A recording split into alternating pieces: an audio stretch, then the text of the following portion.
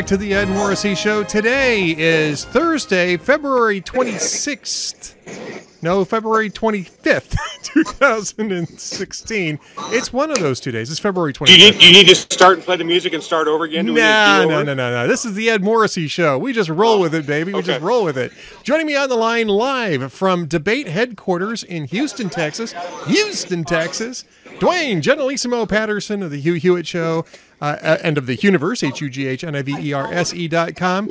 Hugh Hewitt is going to be one of the panelists on tonight's uh, CNN In- Salem debate. Indeed, he is. He has already done this debate, we think, at least four times. He's, is it uh, is it is it that is that that much is that that much show prep goes into this? That's how much show prep they do to it. He got here, he left on a red eye from home two nights ago, came to Houston, and he's been locked in, you know, CNN hostage zone ever since. And they have done at least two, we think three, maybe as much as four full mock debates, game game theorying out every question they want to do, and having stand-ins for who the candidates are and how they might push back. How I mean, just all the stuff you would do for debate prep, they have been doing. And you know, right now, I think Hugh's in his in his in his hotel sleeping, probably. Um, Well, we're but- still about we're still about what uh, four and a half hours away from the debate. yeah, right yeah. So I mean, he's just he's just getting some sleep. But even this morning, they, they ran through it one more time. There's there's a lot of angles. There's a, I mean, there's a lot going on. There's just it's it's it's on one hand, it's it's it's all over, but but the uh, you know calling in the uh, dogs and peeing on the fire here. But on the other hand, it's there's so much nuanced activity going on because the window seems to be closing, but there's just enough gap in that window that there's a bunch of people sucking oxygen out of what's left in that window, and it's just the, the, the stakes tonight are immense. They just are immense. They are immense. Um, before we get into the stakes tonight, though, Duane, you might want to give us a virtual tour of the debate facility because you're right there. I can there. do that. Yeah. So what I'm going to do now is just to let you know where we're at. We're coming to you from the combined spin room slash filing center. In previous debates, like at the Reagan Library where you were at, they had the filing center in kind of one ring, uh, one wing, one room, and they had the spin room all kind of in one little rec room area, right? Well, Right.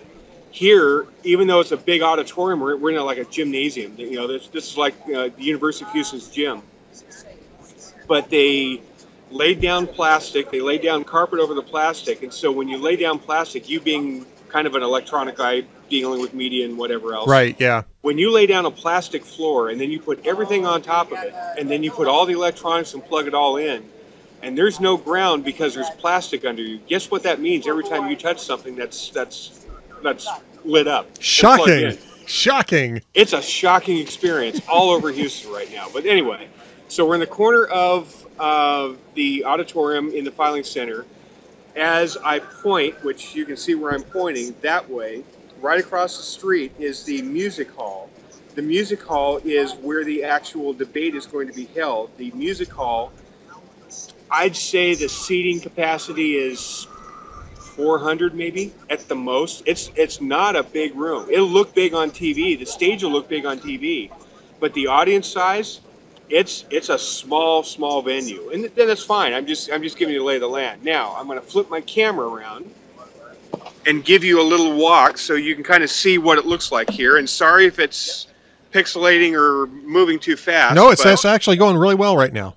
Okay, so here's, if I'm making you dizzy, I'm sorry. This is the SRN booth, okay? So Salem Radio Network's got really good uh, presence and signage and all sorts of stuff here. If you look down, this is this is Spin Room, this is uh, Telemundo, local Houston TV. There's CBS affiliate down there. Uh, the girl in the in the red uh, dress, white sleeves, she's with CBS. There's CNN with the little Enya on it, which means CNN uh, uh, Espanol. Espanol. Right next to us over here is CNN's um, spin room shot. CNN's got stages all over the place. They've got one in Music Center. They've got one here in the spin room. They've got one halfway across the campus over by our hotel outdoors, like Jake Tapper's been on all day. And then if I just move a little bit down here, you can kind of see down the road. Fox News is down there, and uh, in fact, that's Carl Cameron. I don't know if you can see Carl Cameron down there in the end. A little bit, yeah. Yeah, that's that's campaign Carl. So that's kind of the lay of the land there. And then in the middle of the room is the filing center. This is where all the print journalists and bloggers and whatever. And it, you know, it's obviously it's wide open now. We're still several hours till debate. People will start showing up. Um, in fact, I don't know if you can see down there, guy, uh, dark hair, blue shirt. Oh yeah, there's Guy Benson. No, that's not Guy Benson. Oh. That would be that would be Robert Costa. Oh, okay. I'm sorry. That would be that would be Bob. you said Costa. Guy, and so I was looking. I was, I was. You said Guy, and that's just what made me think it looked like Guy. But no, you're right. It's Robert Costa. Um, so, and then, you know, this whole middle area, they're going to probably horseshoe it off, and that's going to be where kind of a press gaggle is when candidates do show up to the spin room. Here's what's going to probably happen in order. The candidates are going to show up. You see where that guard is and that that uh, that drape. Yes. That's where candidates are going to come into the spin room, and they're going to beeline it with security and they're going to try and get to CNN first, is what their commitment is, except who's in the way? Duane is going to be tackling people on the way to the CNN. There booth. is a coiled up 20 foot microphone right there, and I'm going to be out here and I'm going to try and hijack them for 30 seconds, talk to them there. Then they go to there. Then they go to the middle and deal with the media cluster. And then they will probably duck out through that little tunnel and leave that way. Is probably what will happen. Yeah, that makes sense. So that's kind of the lay of the land. You can see kind of the signage, and it's really kind of cool because, you know, all these TVs, the Google, you know, they've got the big Google wall. That's that's in real time. You know, top search candidate by state. All this stuff's going on, but you know, you look at the at the back of the TVs that everybody's looking at, and all the signage there, and sure enough, there's an SRN sign. All I mean, Salem is Salem is really, you know, you and I work for the board here. It's kind of cool to see Yeah, I think we just lost. Oh, there we go. Your audio the way out. Yeah. the way it's increased. Oh, yeah. Well, I mean, I was there in uh, Las Vegas, and there was all sorts of SRN signage over there, so that was great. Absolutely. Yeah. So now I'm going back to I'm going back to here. Sorry, that's my tie. That's my hand. I need to put my thing down. Okay, here we go. Now I'm back. There you go. And so that's that's kind of that's kind of spin room in 101.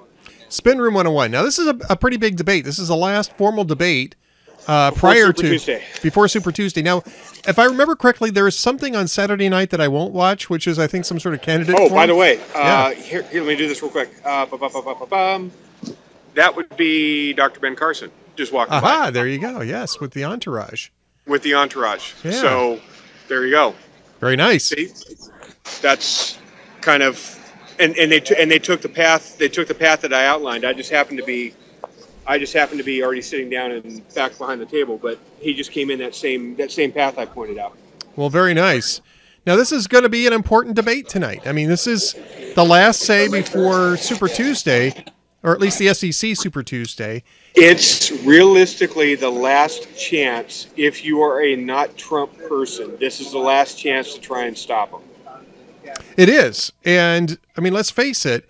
The the the four people, the four other people who will be on stage, have mostly been aiming at each other Correct. rather than rather than at Donald Trump. We're starting to see some hints of that. Now, did you watch any of the Fox News forum last night, or were you were you traveling yesterday? Uh, no, I, I watched some. Um, I, I I didn't watch all of it, but uh, are you talking about the Mitt Romney angle that, that's now launching the new the new tax thing, or are you talking about something else? No, no, I mean, we could talk about that too. No, I was just talking about Cruz and Rubio last night. Sounded like they were a little bit more open open to going after uh, Trump directly during the uh, candidate forum on Fox News last night. Well, it's it's the- the stage is set up to be able to do that. I mean, I I, I tweeted a picture of me earlier uh, this afternoon from the music hall, and I was standing behind where Trump's going to stand, and literally to Trump's left is going to be Marco Rubio, to Trump's right is going to be Ted Cruz. So it's it's you know Kasich is going to be trying to stay positive on the end, but Kasich's not going to have any uh, impact in this whatsoever. I mean, I, I really don't expect Kasich to be involved in this uh, of any dramatic significance. And Kasich had a terrible debate, a terrible appearance yesterday's form. He's really the only guy who did poorly last night. And Ben Carson's going to work on his email list. I mean, you know, it's it's so so the two on, on the ends aren't going to be much of a factor at all, but it's going to be Rock'em Sock'em Robots because it's literally if, if it's now or never. I mean, it's it's it's go home, it's go big or go home now. It is go big or go home, and so you got to figure that Cruz and, and Rubio are going to be a little bit more aggressive tonight. But uh, what do you think about Trump? I think he plays it safe. I mean, wh- why why take the risk? Why put yourself out there? Take. Uh, I would say that Trump is probably going to lay up here today. Uh, I don't think Trump lays up. I he could. That's certainly that's certainly a possible strategy, but he doesn't seem to me that every time he's tried to be more passive, it seems to help him much. What seems to help him much is with the cult of personality that follows him, is everybody lives vicariously through the bully that's willing to punch everybody in the nose. So if uh, if he starts getting up there and taking body blow after body blow, and he absorbs it and tries to stay above the fray, that's not feeding his base what his base expects and wants. His base wants to see Rock'em Sock'em robots, and they want to back the winning, you know, the winning bot. Right, right, I, and that's what everybody wants to see in a debate, right? I mean, that's the whole point of doing the debate. I'm, Right. not, I'm not sure who that was that just walked by there, but uh, That would be Phil Boyce. oh, that was Phil Boyce. Oh, okay. Well, tell Phil I said hi. I'm sure Phil's wondering what the hell is Duane doing there, but okay. He often wonders what the hell I'm doing. Yeah, well, he, when I was there, he was wondering what the hell I was doing there too. So that's all right, though. Phil's Phil's one of the Salem Radio Network's uh, executives, so uh, he's and a great Ed guy. Dorsey. See, told you. We're, we're doing the Hot Air podcast. Hi, Ed. He just said Hi, hi. Phil. Just I wish I was there, but uh, but uh, I couldn't make it this time. But uh, but it sounds like you guys are going to have a great night. Uh, so let's let's go to the Mitt Romney story because I, I have to tell you I was actually dismayed by this because I remember four years ago when Harry Reid was going after Mitt Romney on the Right. tax return thing. And we were defending Mitt Romney, and pretty, and and and I still think it was a despicable attack by by Harry Reid. And now Mitt Romney's kind of launching this a similar attack. Uh, what, what's going on there? Well, okay. Call you know as as as Guy Benson said last night on on our show when he when he sat in. You know, call me cynical. That here comes Mitt Romney doing a masterful job of trolling. I mean, it, it, it I mean, it is what it is. It's a masterful job of trolling because Mitt's like, um, didn't I get attacked for my tax returns and didn't I get ground left, right, and sideways about returning my return or you know releasing my returns? How come how come there's no consistency here? And so he's doing that argument, and all of a sudden, within about 30 seconds, here comes Marco Rubio's campaign saying, "Well, here's my returns. I'll turn those over today." Um, you think that's coincidental? I, I just, I, I, I probably don't think that is. I think that's Mitt Romney's way of trying to do Marco a solid and and uh, and get and get Trump kind of at least talking about a narrative he doesn't want to talk about. Clearly, he doesn't want to talk about this.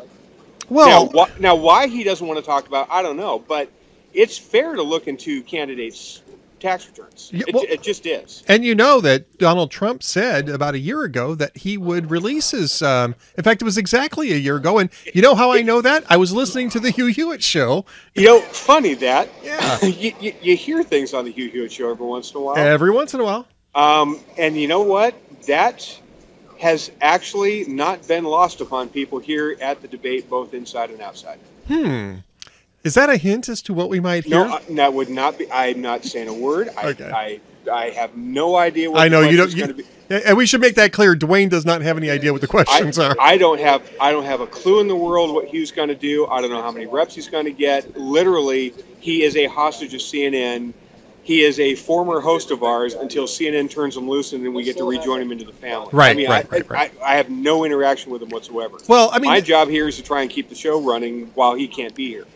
And here's Um, my, here's my issue with it though, Duane. About getting back to the Mitt Romney thing, is that I, I think that and I understand that politics ain't beanbag and, and all's fair and love war and, and elections.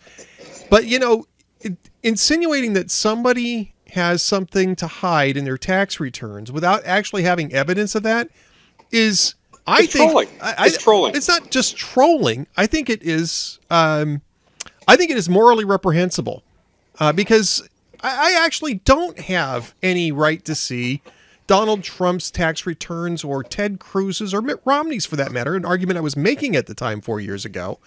Uh, if they choose to show them to me, fine. But I think that that whole idea of everybody releases their tax returns is this prurient um, interest that really serves nothing other than just uh, the type of class warfare that we're not supposed to be about, really, frankly. Right. And so I'm that- kind of I'm kind of unhappy about this. I, I'm a little well, disappointed and in Romney. and that's fine. All I'm all I'm saying is the the angle here, and we're not going to see this. We're not going to see this aspect of it at all because this deals with the foundation and not with with whatever else. I'm, Right. It still rubs me the wrong way. You remember the debate that uh, Donald Trump skipped out on Fox News and held his own little corresponding. I'm going to raise money for the vets and that kind of stuff. yeah, and he didn't show up to last night's candidate forum either. But yeah, I remember Right. it. Right. Okay. So he says we raised five million dollars for the vets. Okay. Well, where did that money go to? Now, he, nobody's really said. All that we know is the money that was raised went to the Donald J. Trump Foundation, right? Because Right. That's, what, that's where they said it went to. It went to his charitable foundation, and it's going to get doled out from there. Okay. Well, do we know where it got doled? Did it get doled out? Yeah, but that wouldn't be coming from his tax returns. I, I understand that, but Yeah. what I'm saying is there's a lot of things that Trump has said he would do that he just hasn't seemed to do. Now, I get the anger at the Republican Party. I get the anger from the base at career politicians who keep promising to do stuff and then they don't do what they say they're going to do. I totally get the argument for Trump. I totally understand it. But if Trump is asked a year ago, so are you going to at least turn over your tax returns so that we get them off the table so that there's nothing there? we don't expect any problems. Just get them out there so that it doesn't come back and trip you up later. Oh yeah, sure, we're going to do that. We got uh, they're they're they're complicated tax returns, but we're going to do that in the next couple of weeks. We've got that all worked out. You you'd be amazed at, at, the, at the tax returns I've got to do. Blah blah. blah. Okay, fine, whatever. He said he was going to do it a couple of weeks ago, or er, in a couple of weeks, a year ago. Right. And now that he's pressed on it again, his answer is a different answer. When Romney did his thing on Neil Cavuto, he comes back and his answer to Anderson Cooper on CNN was, well, you know, um, they're very complicated returns, and we're going to look into that. What does that mean? You're going to turn them over? No, we're going to look into whether or not we're going to release them. Okay, well, but that's not what he said he was going to do a year ago. A year ago, it was a fait accompli. He was going to turn him over. He recognized he was going to turn him over. It was just a matter of timing. Now, it's more politician weasel words like, "Well, we're going to look into it. We're going to study. We've got people on this. We're gonna we're gonna decide whether or not we're even going to turn them over." Well, okay. How is that different than the anger that people show at politicians who keep promising they're going to do stuff, and then when they kind of get into power or close to power, they well, you know, we're going to do this, or oh, we're going to look into this, and we may get back to it. It was a very couched, very political answer that he gave on Anderson Cooper last night. Right. now, again, the charge going after Romney, fine. You know, it's not like it's not like Romney's been accused of things before, and I'm, you know, I I just view it as this is Romney's way to say, um, hey guys, you're missing a possible angle here. Let me see if I can kick this into play a little bit and maybe kick him in the shins, because what it boils down to, and argue with you want over tactics all you want and the morality of it.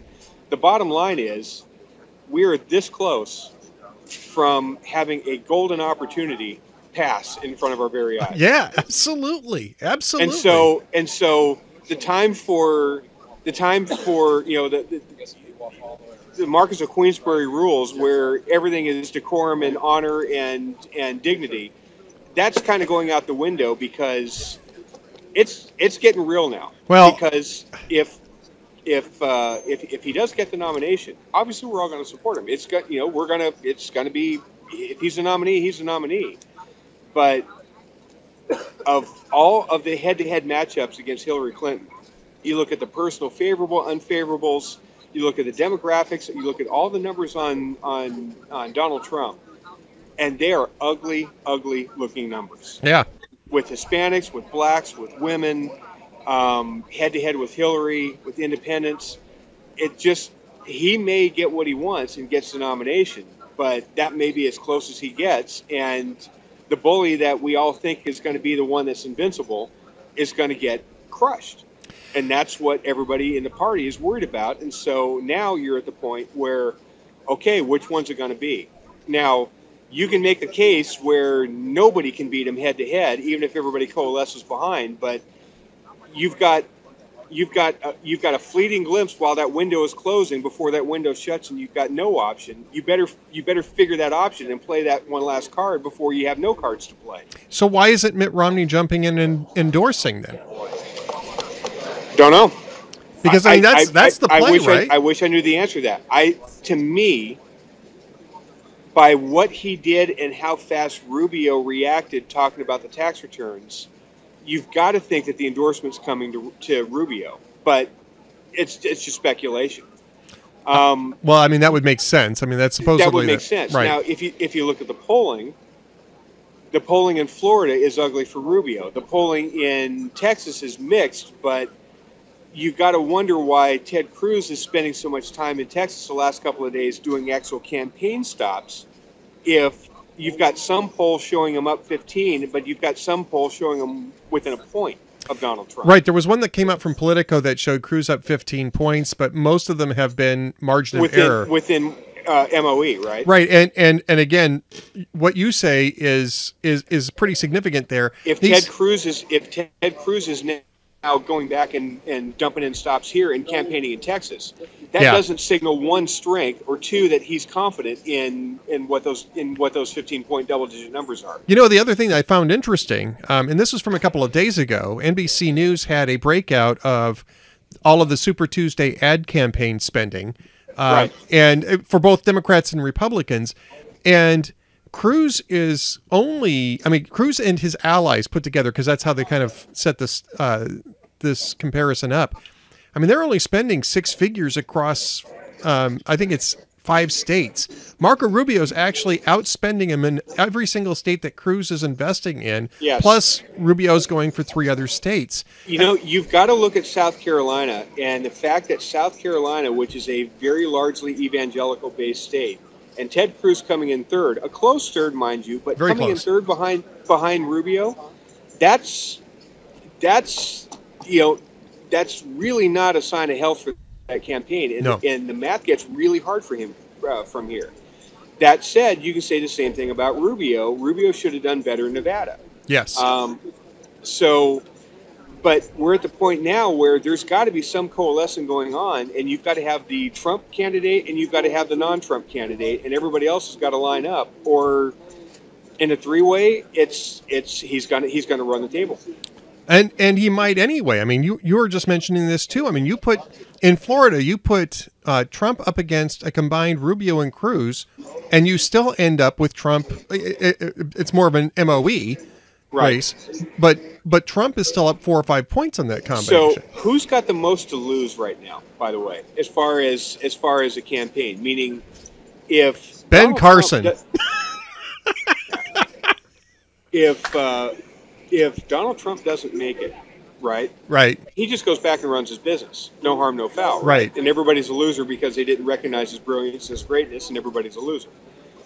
Ted Cruz, if he doesn't play his cards right and he goes and slashes and burns at Rubio and doesn't go at Trump, he's risking what any chance he would have of doing the job that if he would have had advanced foreknowledge of the untimely passing of Justice Scalia, he'd he'd be. I mean, he could be on the court if he's not president. If he plays Yes. his cards right, he really could. Well, that was a joke I put on Twitter, and nobody, almost nobody, got this joke. You know, they said that Mitch McConnell was going to meet with Barack Obama about the Supreme Court nomination, and I joked on Twitter that he's going to um, cut a deal with Obama to put Ted Cruz on the Supreme Court, which, you know, the joke there is that McConnell and Cruz do not get along, and McConnell would be happy to get him out of the Senate and onto the Supreme Court. And everybody's going, See, well, to me, to me, Rubio doesn't have as much to lose. If he if he loses his campaign, he just goes to Florida and he becomes the next governor of Florida. He gets some gubernatorial experience. He's only 47. You know, four or five years, he can run for he can run for president again, and he's fine. You know, he's he's got a he's got a backup plan, and you know he's got a long he's got a long road ahead of him. Ted Cruz, if he plays his cards right, if he were to maybe not be so harsh at Rubio and tried to go at Donald Trump and stay more principled, you know, even if it didn't happen and he folded, he could roll into a Rubio camp and he could be on the he could theoretically possibly if we could have a nominee that actually matches up head to head with Hillary Clinton better, we could have Ted Cruz on the Supreme Court for 35 years. well, you can I- make I the same you can make the same argument about him not attacking Trump. If he thinks that Trump is going to wind up with the nomination, then then play ball, go after Rubio, and then Ted Cruz is. Uh, you know, uh, the, the the first choice for Donald Trump to go to the Supreme Court, right? Right. Same deal. I mean, so he he you can play that either way. And right now, it looks like Donald Trump is the better bet, but So it's it's one of those it's one of those things now where we I, I think we've got about a week, and after about a week, if if uh, if there isn't some more coalescing going on, um, we've we've made a we've we've made our bed with somebody that everybody thinks is going to be able to will himself into being you know the the, the big bully despot that we so desperately need to kind of kick everybody in, in the shins and, and put things back in order. But I'm telling you, I, I, I, see the I see the the, the head-to-head matchups between him and Hillary in every demographic group, and it just it looks it looks miserably ugly. so let's get to predictions for tonight. What's that? Let's get to predictions for tonight. Okay, All right, uh, John Kasich. What does John Kasich? What does John Kasich got to do tonight?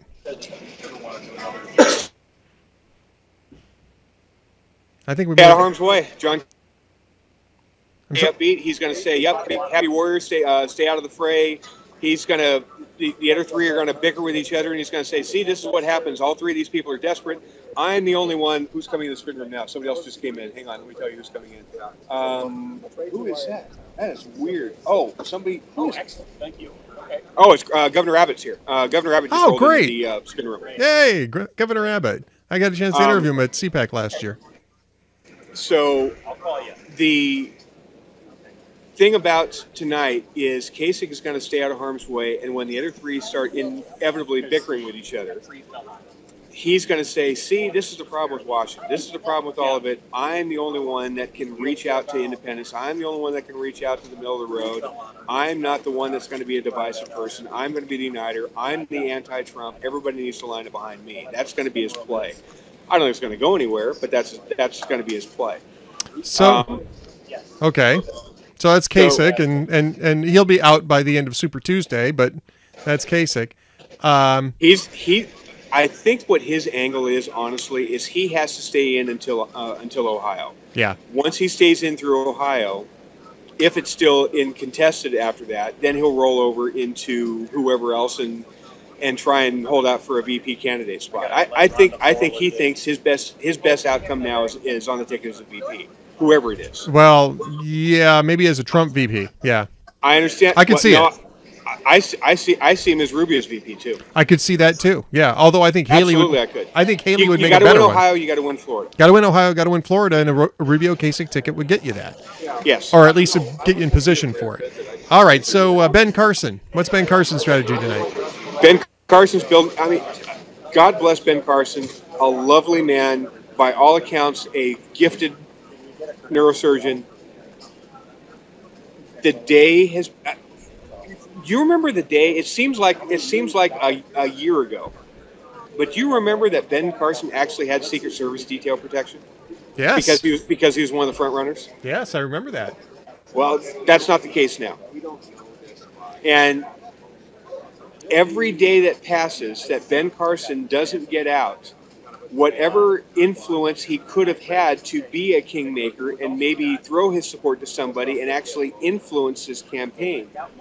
It's shrinking and dying day by day because he refuses to get out because he's under some delusion that he is on his ascendancy still. Yep. He's not. Nope. And and the problem is he's just it's going to be four people on the stage and Ben Carson. That's what it's going to seem like. So it's, it's depressing because it shouldn't be that way. He's a smarter guy than that. But it's going to be four people on stage and Ben Carson. So what's the over under on uh, We the People mentions? Half a dozen. Okay, there you go. I, I don't I'll go with that. I don't think he's going to get that many reps. Uh, probably not. I, I don't. I think I think the big three are going to be. Ha- they have to go at each other because if you lay back, you're done.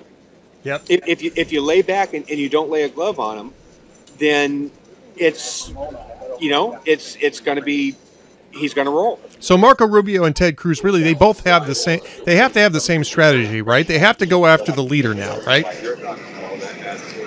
I'm not. I'm not a. I'm not a uh, Game of Thrones guy. I'm not a House of Cards guy. I'm just asking. I'm just asking a sincere question. A sincere question. What you think? The somebody in the Cruz camp. I'm not saying the particulars or the principles. Somebody in the Cruz camp and somebody in the Rubio camp have had to have talked by now, right? I would think so.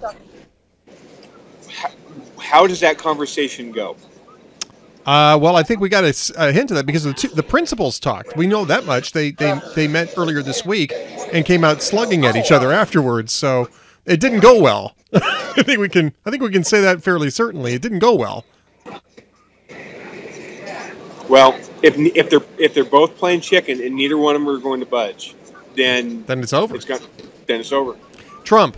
I think Trump plays back. I think Trump lets the two of them go. As long as they're not going after him, I think Trump just lets it lets it ride tonight.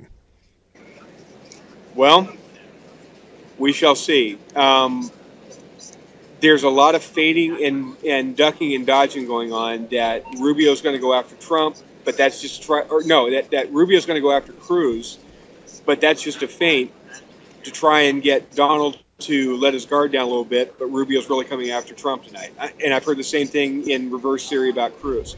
I, I have no idea what to expect. All I know is instead of having a debate where you've got two different debates with 16 people on it that 13 of which have no chance of ever becoming president you've got a two and a half hour debate that's going to be between three people that have everything to win and everything to lose Yeah. it's it's it's going to be it's it's going to be a debate for the ages it's it's set up to be a debate for the ages All right. So what's coming up? Give us the lay of the land uh, tonight. Uh, what's happening?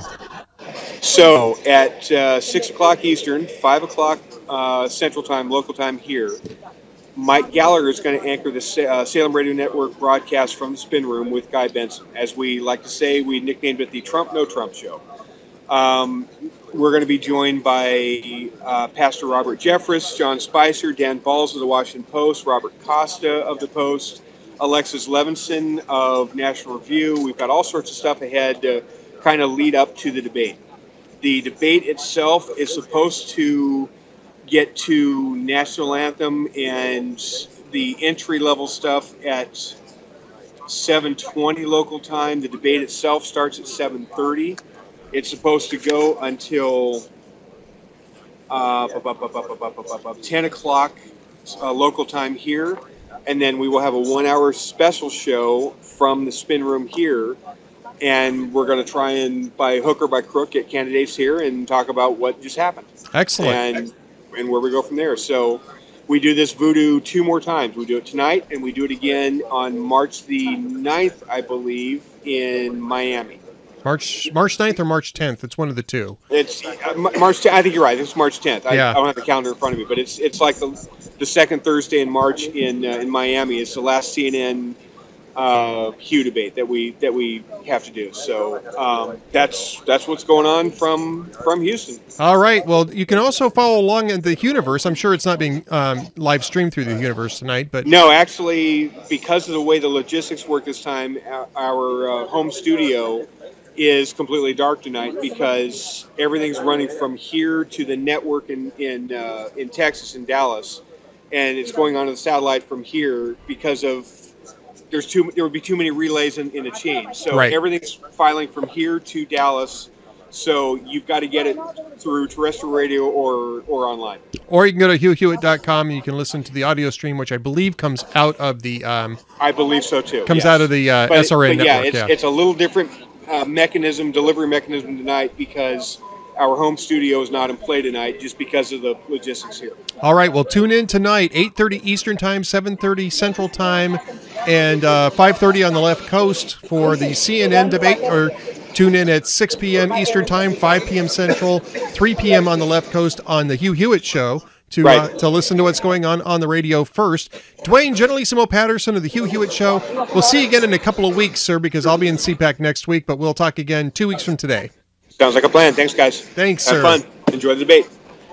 All right, Duane Patterson live from the debate headquarters in Houston.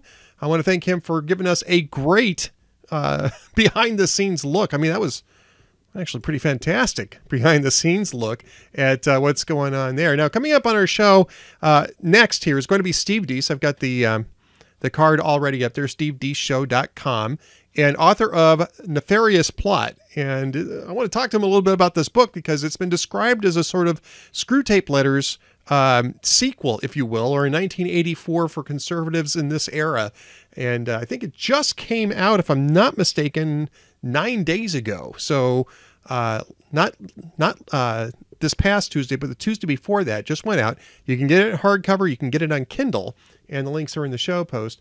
Also, uh, I want to thank uh, I want to thank Duane, uh, but also coming up after that, uh, Paul and Patrick Aiello, who are the writer and producer, respectively, for Risen, uh, which is a fantastic film. I saw this in the theater last Sunday night, wrote a review for it Monday morning, and I would highly recommend people see this. Uh, interesting story about Paul Aiello uh, contacting me through Twitter, and you know, it was he had just he had he doesn't use Twitter, so there's only like a couple of tweets in his account, and he tweets me, and I I don't know if this is the the right guy or not, and we got into a nice conversation via Twitter, then via email, and he's he and his uh, brother Patrick have agreed to uh, appear today to talk a little bit about the show. So it'll be a change, a nice change of pace, uh, getting away from politics a little bit and talking about uh, a, major motion picture featuring Joseph Fiennes and uh, and uh, Tom Felton, who played Draco Malfoy in the Harry Potter films and does a really good job in a supporting role here. Cliff Curtis plays Jesus. And uh, it- smaller role because it's uh, we'll get into this when we get into talking to the Aiello brothers because they took a very interesting approach to this almost sort of a throwback approach back to the uh, film biblical filmmaking of the 40s and 50s and, and maybe 60s where you didn't actually tackle the material head on. You kind of created an angle uh, that was sort of an oblique angle to get you into the story. And it's fascinating uh, it's a fascinating approach and it really works in this instance. I, I got to tell you i thought it really worked very very well but i will play the um, excuse me i will play the um, the trailer for this while i'm trying to conference everybody in later in the show. So but let's go ahead and see if we can't get steve deace on the line now. And let's see if we can keep skype from freaking out like it did on tuesday. For those of you who were here on tuesday remember that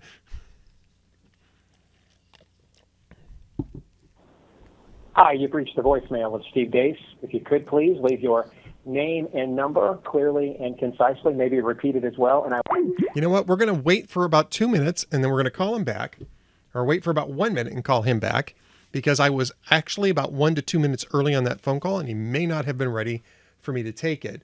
Uh, but uh, we will go ahead and give this another shot in just a moment. Uh, I want to um, want to thank everybody for being here today, and I also again want to kind of apologize for what happened on Tuesday. And I think what happened was I tried to conference a video call uh, to a non-video call that I was initiating, and I think that was the problem. And I, so we won't do that again. if I have to conference people in, I'll just start off by having everybody on landline and do the conference that way. I broke the Hubble. Uh, yeah, I think that that's probably correct. I'm not sure if anybody has any um, uh, any questions. I'm not sure if anybody had any questions. I can double check really quickly to see if that was the case. looks like um, what color is the sky uh, in your world? What's with Duane's tie? He looks almost respectable. Actually, always wears a tie when he's out on the road, and so. And somebody wanted to know if because I was bringing in a Cruz advocate, and that would be Steve Deace. Um, that um, if I'd bring in a, a Rubio advocate, I, I, have no problem bringing in anybody, to be honest with even people who want to support Trump. Um, Mike Gallagher is a good friend of mine, Salem Radio Network host, who really likes Donald Trump. I'd be happy to talk to him about that, except that he's busy right now. he's busy right now preparing for the show. Let's see if we can't get Steve back on the line here.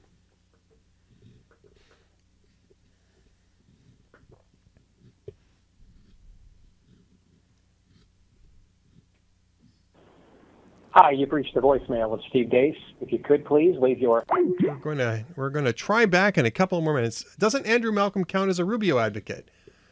You know, I don't know that we've heard a position on where Andrew is thinking about voting. And actually, I was thinking about this today. Right, um, my caucus is actually on Tuesday night, and I won't be here for it because I'll be already in Washington D.C. for CPAC uh, because I got I I have tasks that I have to do prior to CPAC this year um, because of the book. Um, the book is, of course, Going Red. the 2 million voters who will elect the next president and how conservatives can win them. You can find out more at goingredbook.com. We're actually going to give away these galley proofs, and uh, these are these are. Um, let me bring it back into the camera. These are um, these are promotional copies of the book. It's it's the full book without the index um, and I think also without the footnotes. No footnotes. No, uh, no. The footnotes are actually in there, but no, um, no index. And um, these have just gone out to a number of people um, in the media, and at think tanks, and I've started to see people tweet out about this. One of the people that I have in the book, his name is Tom Jackson. He's a reporter and columnist in Tampa. And uh, why Ed Morrissey feels the burn. Ah, that's kind of funny. Let's see. While we're waiting for, I, I want to, I just want to read this really quickly because um, I have to brag. just because I've got to, because um, I was, I was very gratified when Tom Jackson wrote this. He he he read through the Tampa chapters, Hillsborough, Florida, and this is what he tweeted out last night uh, just about 19 hours ago. Sped through Going Red Books opening Everytown chapter on Hillsborough County, Florida. Wow, rich reporting, efficiently written, learned stuff. And this is this is a guy who's a reporter there in the local uh, in the local area. I think Steve is calling in now. Is this Steve Deace? This is. Hi, this is Ed Morrissey from Hot Air. How are you today, Steve? I'm well, Ed. Thank you very much. I appreciate it. I'm sorry that um, uh, just a little bit of a disconnect there, but we're live on the air right now, and uh, great okay. to ha- great to have you on with us. And uh, Steve Deace Show, of course, dot com, and Nefarious Plot, your your new book, just got released nine days ago. How's that going? It's going very well, and I I knew when we wrote this book, Ed, that this book might either get me shot or make me a star, one or the other, because there's not much in between. Uh, if, if you read the subject matter, and when you when you write a book that you are channeling a demon, writing about the destruction of your own civilization, you're sort of on a razor's edge there as an author. You are, and of course, you're not just on a razor's edge. You're in some pretty august company because, of course, the classic of that genre is the Screwtape Letters by C.S. Lewis, to which this book has been compared. Um, I've I've I've read the uh, I've read the um, the blurbs on this, and I think at least two of the blurbs mention the the parallel between this and uh, the Screwtape Letters. Now, the Screwtape Letters is one of my favorite books, Steve. It's one of my mm-hmm. absolute favorite books. Uh, I use it um, pretty much to sort of fortify me for the type of spiritual battles that one has to fight on a daily basis as a Christian. So, tell us about nefarious plot and why you, uh, you know, why you're telling the story from that perspective. I just think that's that's it's challenging. I, I was sitting in the shower uh, in the middle of doing media for my my last book, Rules for Patriots, and uh, this came to me. This book is dedicated to all the useful idiots out there, especially those of you who had no idea you were being used by us all this time, for you proved to be the most useful idiots of them all. signed Lord Nefarious. That that just popped into my head one day in the shower, and from there, the sort of the mustard seed, to borrow an expression, where the rest of this book came from, and and absolutely, it's a direct homage to the Screwtape Letters, meaning we don't we we emulate it to some extent with my own style, but we don't copy it directly. Um, the demon in this book is a 21st century demon. Uh, he is a PG-13. He is not the whimsical demon of 1940. Uh, we live in a different era than what uh, what, uh, you know Clive Staples Lewis was writing to back in the World War II era, for example. Uh, and, and instead of we're talking here about what how hell targets one individual soul. In this book, Nefarious is tasked by the devil with destruction of an entire culture, and and how to go about doing that. What does that look like? And he connects all the dots. He names names of, of individuals, philosophies, uh, institutions uh, that they have either created, co opted, or corrupted over the years to make it happen. And he puts it all in a book, connecting all the dots, naming every name, because our inability to process it, our inability to heed its warnings, to do anything about it, will prove to his master, the devil, once and for all, that the plan has worked. We're too far gone to even stand up for ourselves now. That's that is how complacent and drunk on our own lackadaisical uh, spirituality and morality in our culture that we have become. Wow. So this is um, this is uh, a pretty comprehensive look at, at the sort of spiritual warfare on a cultural level, and that that um, that uh, Screwtape letters sort of addressed on more of a personal letter level. Right. I mean, we this we get in. What's what's interesting, I think people will find the most interesting about this is Nefarious teaches theology, philosophy, history, etc and he and he uses facts. His facts are accurate, but the interpretation and spin on those facts is from the other side of the looking glass. I mean, he's on the other side of the mirror, right? So up is down, down is up, back is left, left is you know, left is right. Um, and so he is what he's telling you is true, as Obi Wan Kenobi once said to Luke Skywalker, but from a certain point of view. Interesting. So, how long did it take you to write this? I mean, it sounded like you're very inspired on this this book took me longer to write than uh, just about anything else I've ever done. It took wow. me over a year, and and you know why? It, It's not that long. in fact, when it got when it was finished, I was shocked. It ended up 200 pages, which is exactly what the Screw Tape Letters was in its first printing. That was not intentional. Uh, that was just uh, serendipity.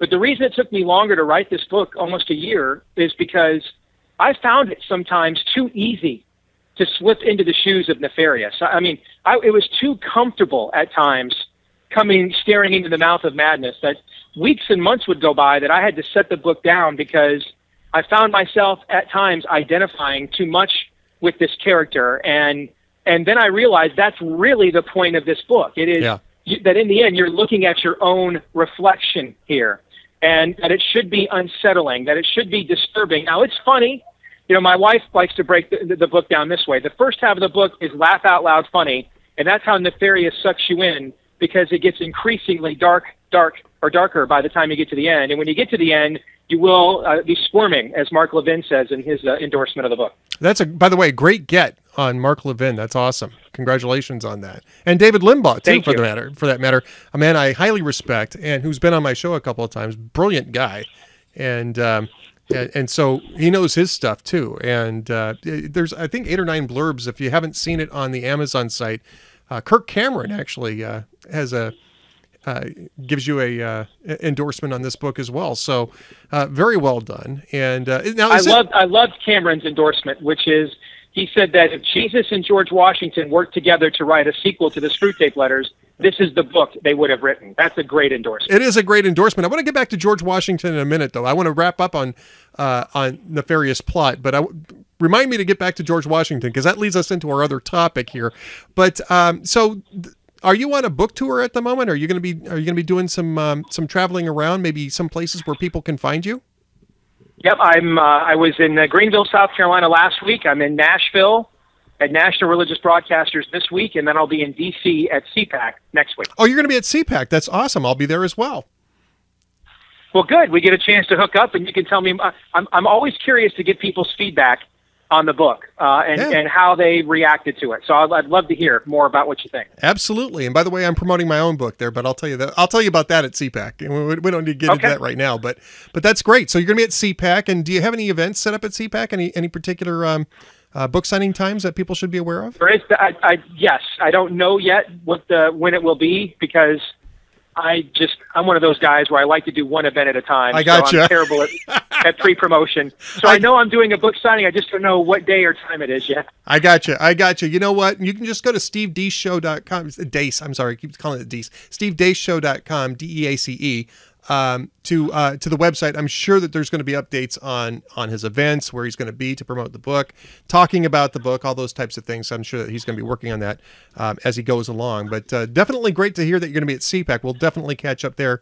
And uh, so to get back to uh, George Washington, you wrote a piece I think it was about four or five days ago, right? Where you you were you were talking about George Washington and how he might not be a big fan of uh, the Republican Party's frontrunner at the moment, Steve. Uh, uh, Donald Trump, maybe maybe maybe not the kind of guy that George Washington would hang out with. Tell us a little bit about this. What's really, I, I think I can just say one thing that sums up everything. The, the, the perceived frontrunner in the Republican presidential primary, Ed, yesterday was publicly thanked and complimented by Cecilia Richards, the head of Planned Parenthood, which makes money off of killing and dismembering babies for profit. I don't know what else I could say or do um, to illustrate that point any more graphically than just with that blurb alone. And and and re- even if your morality is so dull, your senses are so dull that that doesn't that doesn't resonate with you on any level. But you consider yourself some kind of Republican or conservative. Then let me let me put it another way for you. The woman who runs the biggest Democrat Party trust fund in the country, the biggest Democrat Party slush fund, shill fund in the country, is complimenting and thanking the, per, the perceived frontrunner for the Republican presidential nomination. That is that's breathtaking. I mean, could you imagine there would ever be a scenario, ever be this, ever be a scenario, the scenario where the leader, the perceived frontrunner in the Democrat presidential primary, would would be getting a thank you from the American Family Association? Uh, We'd be no. getting a thank you from Right to Work, you know, from from you know uh, Americans for Tax Reform or any of the big name groups on our side. I can't. In, I'd like to live in that universe because that means our ideas are permeating the entire electorate when we can barely permeate the GOP nowadays. But that would never happen, Ed. And we're and we just saw this happen in our own primary yesterday. you know, about a year and about well, about thirteen months ago, I guess it was. I was in Iowa. You were there, like right next to us, um, at the um, at what was it called? The uh, Freedom Summit, I think, is what it was called. Right. Right. The race looked a lot different then, right? I mean, we were talking about Scott Walker. He had a great event, came in, blew everybody away. Ted Cruz was doing really well. He was there as well. Um, I don't know if Marco Rubio was there, but uh, Carly Fiorina came through. Uh, Mike Huckabee was there as well. There was a number of people who were uh, considered contenders. I think Rick, Rick Santorum went through as well. I think you got Rick Santorum, but we didn't get a chance to talk to him. Um, what happened? What happened over the last 13 months? you know, if you go back to that event, I'm glad you went back there because I, I, I do think to know how you ended up here, you got to know where you came from. And when you go to that event, Trump came to that event, and everybody Yes. forgets that. Yeah, he was I a sideshow. Uh, didn't really resonate with anybody because he stood up there, and you know, we saw some of the chutzpah sideshow act that he's sort of pat- patented now. But all he talked about was China and trade policy, and, and really a bunch of uh, nuanced third tier issues that didn't really uh, touch anybody whatsoever. No one took him seriously. What happened is he, in my view, uh, he inadvertently, accidentally touched on a nerve on the immigration issue. And like any good entrepreneur, uh, any good businessman, realized that when he had found um, when he had found a trigger point uh, in order to in order to bring a product to market, uh, he rested on it, parked his car there, and I, and used that to elevate himself into the first tier of the race. And I think this is why, and I'll even put myself in this camp. Um, in, in early portions of this primary, there was a good deal of conservatives that, even if they weren't supporting Trump, were at least willing to tolerate this because he was bringing to bear the, uh, the, the, the, the frustration on the immigration issue that, re- that so many conservatives have had with both parties for many years now. But what you what, what we saw happen the last few weeks in Iowa, um, you know, he talked about immigration really one time the last month in Iowa. He was asked about it, and he said, "Well, you know, I, people come to my rallies and I talk about what I want to talk about, and if it bores them, then I just say we're going to build a wall and they all cheer." You know, I was just talking to a friend of mine here at NRB, and one of the things that came up in the conversation is that campaigns don't build character; they reveal it. Yeah. And so the more this race has gone on, you'll notice that until the Pope attacked Trump in South Carolina last week, we hadn't heard hide nor hair from Trump on this issue barely at all. Instead, most of the time, Trump talks about Trump, or he talks about the other candidates. They're sleazy, they're liars, they can't, you know, they're they're anchor babies, they're not eligible. Um, he's run a reality show, and the more this campaign has gone on, the less he has shown any any any rationale on issues at all, unless you count him going Rosie O'Donnell 9/11 truther on George W. Bush in the debate in South Carolina last right. week. Yep. And and the problem with that, Ed, is we've gone now from him being an insurgent candidate really he is running the Obama 08 playbook back at us. He has created what amounts to a cult. About two thirds of his vote, in my view, is just a cult. He's right about them. He could he could shoot someone in broad daylight and they would not change, uh, and and that's disturbing to me. And it's and, and, and just as Obama created a cult of perceived uh, grievance classes on the left with, with the groups that have now become Black Lives Matters and the like, and Acorn and all these other groups, what we see now is Trump is creating a cult of people that are perceived grievance classes on the right. These are people who are not rightfully just upset that we're seeing uh, affirmative action run amok, but the people that get upset that there's black entertainment television because there should be white entertainment television too. You, you Yeah. understand the distinction I'm I, trying to oh, draw? Absolutely. Okay? Yes. I absolutely. And- yes. And I agree with it. and and he and he is capitalizing on this. He is he is essentially ca- creating some form of a pseudo neo white nationalistic bent um, that pe- that that is gravitating to people. And, and I'm not sure how many of those people we could peel away with any candidate. Now, I do think we could take him from 30 to 35 to 20 to 25 if we had a conservative candidate, and this is what Cruz did in Iowa, who spoke more commanding on the issues. And you go back, I think what you have to do to beat Trump is what we did at the end in Iowa. We had a debate in South Carolina about a week before the Iowa caucuses where Cruz basically pulled Donald Trump's pants down on the birther issue and made him look like a fool. And Trump didn't even bother to show up at the next debate. He was so afraid of how things would turn out. And the campaign at the end went back to being about issues, and Cruz was able to beat him by four points. But what's happened since then is this campaign has been about personalities. It's been about, well, did Ben Carson get screwed over by those emails? Um, you know, uh, who, who, you know, Marco Rubio, what's his path to victory and who won today's narrative? You're not going to beat Donald Trump like that. You have to beat Donald Trump by running a candidate that is able to create a large coalition of conservatives because he leads on the issues. Yep. And that's something we really need to see from either Cruz or Rubio in this Houston debate tonight. Steve, we're out of time, but I just want to remind people that you can find uh, Steve at stevedeaceshow.com. The URL is up on the screen right now. It's in my show post. Don't forget about his book, Nefarious Plot. The links to that are in the show post. And Steve, where can people find you on Twitter and uh, on the air?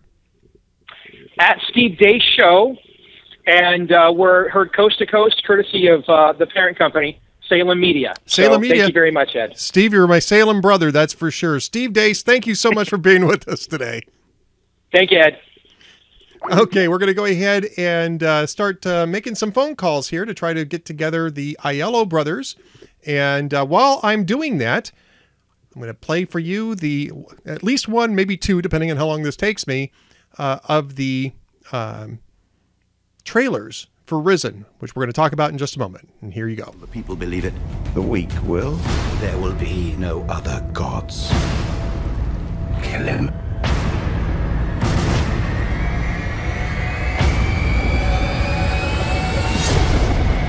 The tomb is sealed, guarded with your life.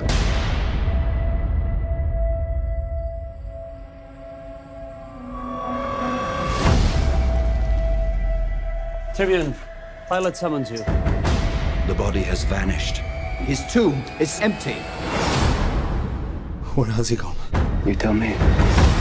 Already they're proclaiming him risen from death. The Emperor cannot arrive to unrest. We must find a body.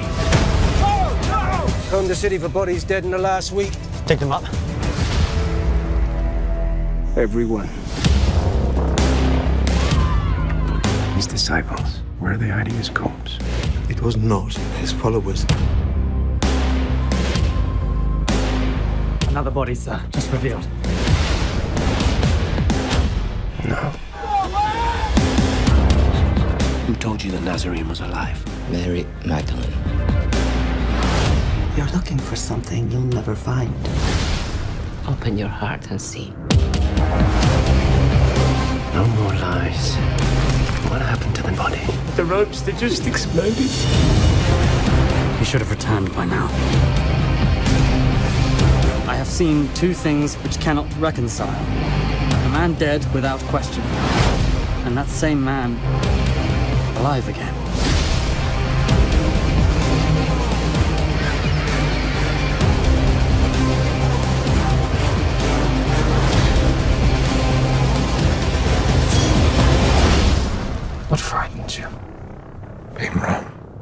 Wagering eternity on it.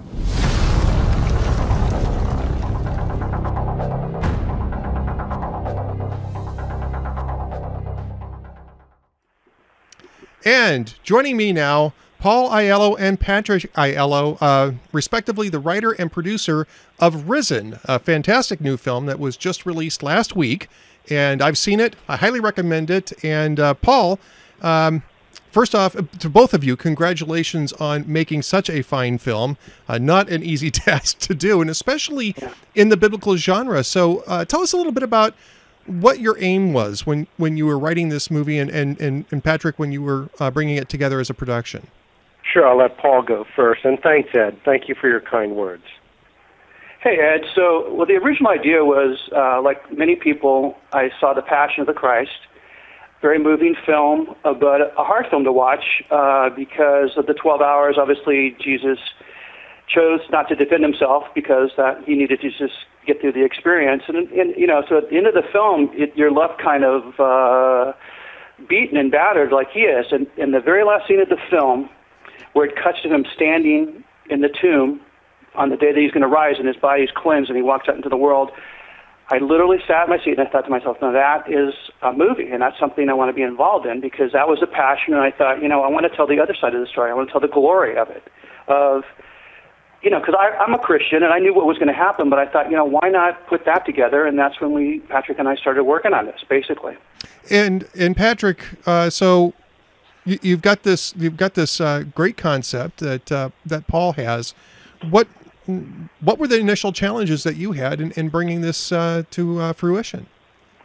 Well, um, it's a funny story because Paul first showed me a story and I agreed this is a fresh angle in uh, to serve to a very underserved uh, market. Uh, uh, you know, a, a huge majority of people are craving this content, but it needed to be fresh and it needed to be exhilarating, and more importantly, it needed to relate to everyone in the seats that were paying to see the film. And Paul's perspective in connecting us to an everyday person, not necessarily a disciple, uh, I thought was the right way to go. So he wrote the screenplay, and we essentially began putting it together in a very methodical way because uh, films, and I've made a lot of them, they come together very quickly or they notoriously take years and years. And the process was quite methodical in this. We had to pick the absolute right director, which is crucial. And Kevin Reynolds was just that person. And furthermore, I needed to partner with uh, an outside the system financier who was LD Entertainment, who had the ability to cash flow the picture uh, and, and, in essence, make it outside of the Hollywood system.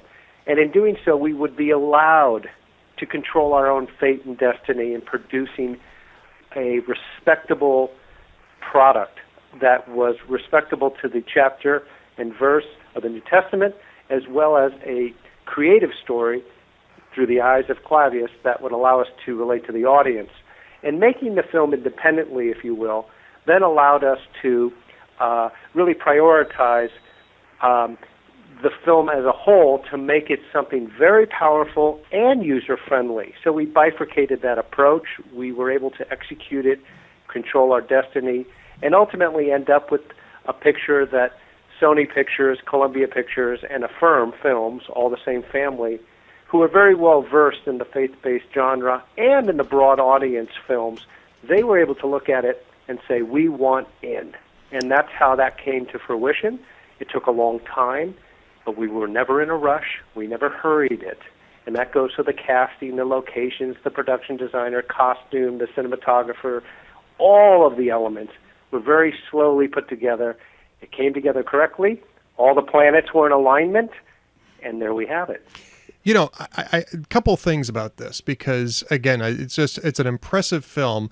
There's there's been a, a, a sort of a, a renaissance, if you will, of biblical filmmaking of late, and I mentioned this in my review too. Is that usually it's either sort of an earnest, head-on attempt at literal retelling of stories in the Bible, which is certainly a legitimate approach, or sort of a almost like a biblical action movie. And I, am I'm, I'm going to put uh, Noah and Exodus, Gods and Kings in, in those uh, in those categories where uh, there's a, a, tremendous amount of production that goes into this very very um, uh, stellar cast and that sort of thing, but perhaps not necessarily with the intent of of telling the biblical story in a way that has an emotional um, a real emotional connection to that original um, scriptural story. And what I found really interesting about your approach um, in Risen was that it kind of does two things that are different. One is it it goes back to a more oblique pro approach, and you guys have mentioned this already, but I'll bring it up again,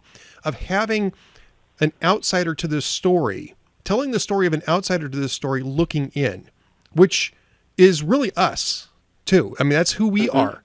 And so, correct. obviously, it's somebody yeah. we can identify with, and especially in our more skeptical moods, uh, obviously, we can very much, uh, you know, relate to Clavius. But then um, you kind of take us from in, in, an arc from you know the the action movie to something much more personal and much more direct, and um, and I found that to be very interesting. The pace the pace changes, and it becomes more and more about the heart and less and less about what you know uh, the, the the crime drama aspect of it, which I thought was a really great way to to unlock this story. Uh, and you point that out very clearly in your write up uh, on Hot Air, and I thought it was wonderful that you addressed the the pacing, uh, first half and second half, and.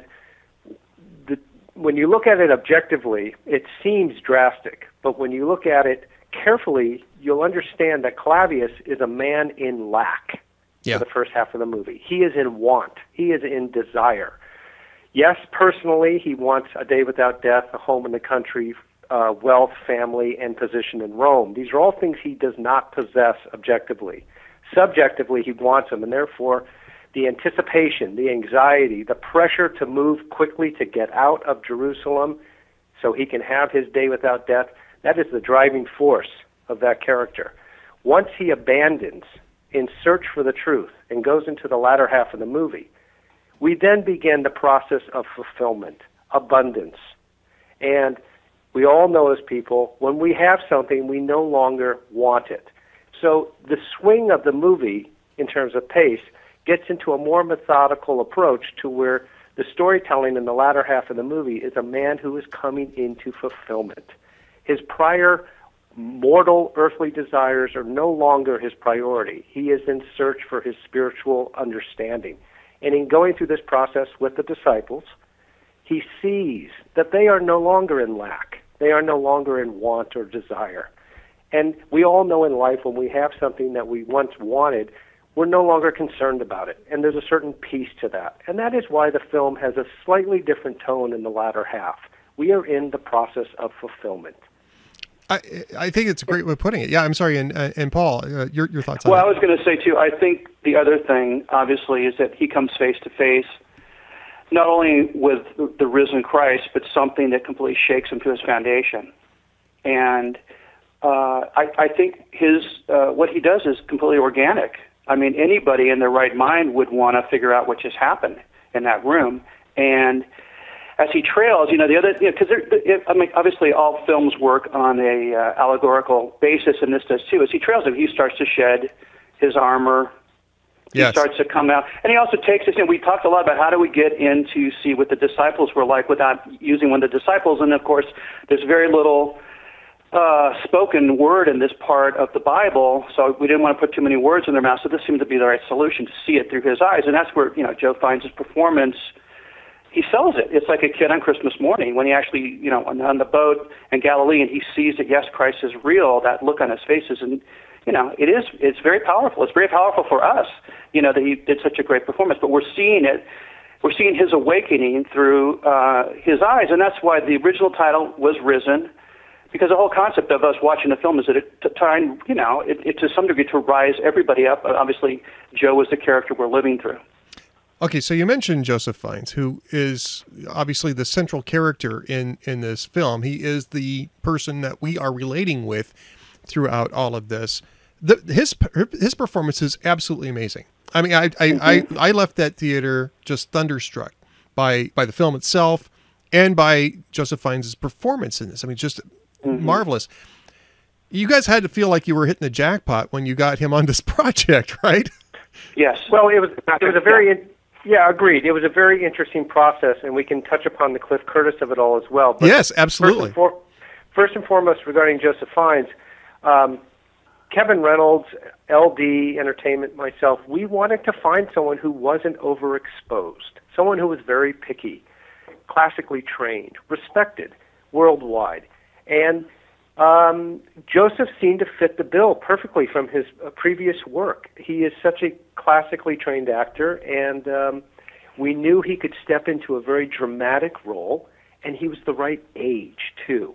And it was just a wonderful opportunity to where uh, I received a call from uh, Kevin Reynolds' agent suggesting Joseph Fiennes, who was just recently available.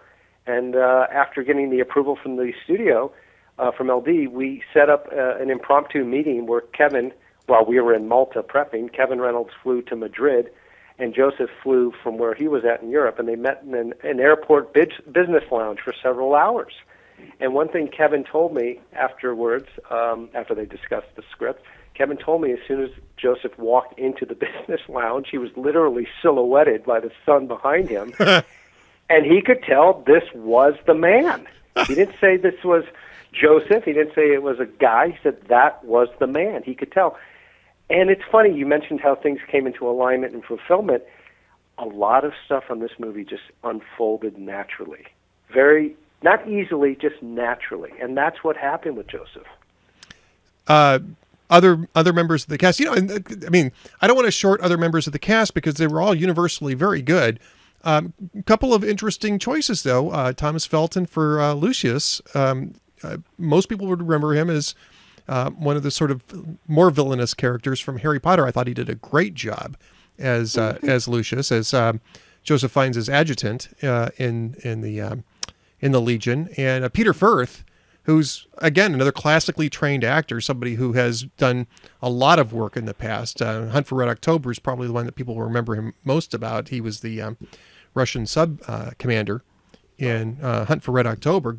Uh, terrific actor playing Pontius Pilate, and and the thing about Pilate is, is that there's always a different nuance to every single, um, to every single um, Pilate performance. Everybody, it's one of those characters that really Mhm. can you can read so much into that. And you mentioned Passion of the Christ, and I thought that that was one of the best depictions of Pilate um, at the time. I thought I think Peter Firth is right up there with that. Yes. Well, you know, I approached it um, from the political standpoint. It was a way that I thought because of the movie, because of the way we were dealing with all of this, uh, I thought to make him a political animal. Because you know, reading carefully, and I read, I researched a lot of books about this. He was a political animal, and obviously that's why he crucified a man he didn't truly believe needed to be crucified. Yep. He just did it to get it off his plate. And um, so that's, you know, and, and Peter Firth has so much gravitas. The other thing I, I, I want to throw in about Joseph too is the thing that it was not, and my vision of the character was his intelligence. Uh, I remember seeing the dailies early on. Right, started hitting the jackpot. I saw how he was playing the character yeah, it was so intelligent. It was so there's so much going on there that he really he elevated the character. And I thought between the two of them, it's like there's two father and son stories. It's it's uh, Pilate and Clavius, and Clavius and Lucius, right? With right, there's yes. two mentor relationships there. Yeah, and so it was very interesting because ultimately he had to betray his his mentor and and his entire uh, career. Yes. You know, to take to take that chance. He kind of left his way out with that note, but still, uh, you know. Yeah, like, it- like- yeah. It, As for Tom Felton, um, it it was a difficult role to cast because you needed someone who wouldn't necessarily compete head on with Clavius. You needed Lucius to respect Clavius, and we wanted to, to tie in the Lucius character to where it was a uh, a personal suggestion and reference and hiring of Pilate to Clavius. And Tom Felton, you know, he's really grown up on screen. Yes. And he is hyper intelligent and very focused. And just in meeting him and then subsequent conversations on phone calls and uh, uh, with Kevin Reynolds and us listening in, he understood exactly where he needed to shine and where he needed to back off. So it's not a two-hander. It's very much a relationship uh, where he is in awe of Clavius and his accomplishments and his position being right hand to Pilate, and that he desired that. Because through the movie, you'll hear it repeated twice. Pilate says to Clavius, uh, "Your ambition is noted," and of course, later in the film, that's simply paid off by what Paul just suggested, the father and son story, the passing of the baton, when Clavius, in fact, says to Lucius, "Your ambition is noted." Yep. So we we see Lucius is on the heels of filling Joseph Fiennes's shoes, and sure enough, that could happen in another movie.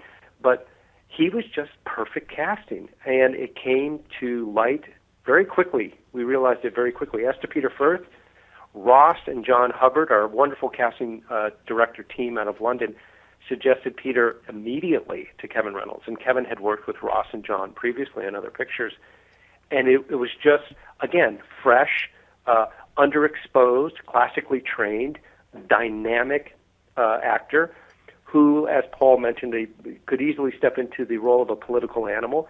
And it's important to remember that the region of Judea was not Alaska.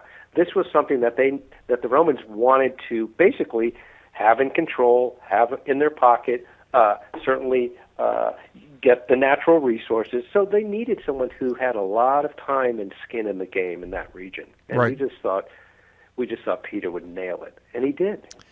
Cliff Curtis plays Yeah. a lot of Mhm. tough guys on on screen. I mean, I, I think um, I, I think of Cliff Curtis. Uh, the, the the the role that would come to mind with Cliff Curtis is Training Day, where he's he's one of the gang uh, one of the gang members who um, actually allows. Um, uh, Ethan Hawke to live. If you've seen Training Day, you'll Yes, you'll remember his that- name was his name was Smiley in that movie. That's right, Smiley. Yes, thank you. I, Yes, I'd yes. forgotten that. Yes. Um, An interesting choice. A, a very good actor. Um, I, I guess the the um, the knock on a lot of biblical films is that you get a lot of people who look, you know, very uh, Northern European playing Jesus, and and, Right. and Cliff very clearly isn't that. But he's also a, a just a really skilled actor, and and what's interesting about his role in this is that it's mostly quiet. You don't hear him speak very often in the film, and it's it's a it's a very um, I, I want to say almost a controlled performance, but very natural. It's a really interesting performance. He Cliff is a very interesting guy. May I tell you how it all came about? Absolutely. I will. It's a very interesting story, and it goes back many years. I once had an encounter with him, believe it or not, at a supermarket of all places. Where he literally, and I had no idea who he was. He passed me on outside of a market, and I could feel, literally feel, that someone of presence passed me. So I looked. I caught the man's uh, uh, profile, and years later, I sure enough start seeing this man in television shows and movies, and then I realized, oh, that was him lo and behold, we're ca- we're casting the role of Yeshua while in Malta, and it is not easy. What Jim Caviezel did for Mel Gibson was incredible. Yep. But all of a sudden, for some reason, I remembered Cliff Curtis from seeing him as Pablo Escobar in Blow and seeing him as Smiley, and then looking him up and going through all these YouTube clips of Cliff Curtis. I realized this man is transparent. He is a chameleon. He is a wonderful actor with tremendous screen presence. You can look at anything that he's done, and he just is three dimensional and radiates from the screen. And I thought that was a pretty good starting point. And uh, also, he does have a, a darker skin, a little bit.